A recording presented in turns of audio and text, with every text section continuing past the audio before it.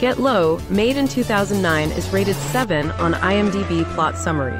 A movie spun out of equal parts folktale, fable, and real life legend about the mysterious 1930s Tennessee hermit who famously threw his own rollicking funeral party while he was still alive.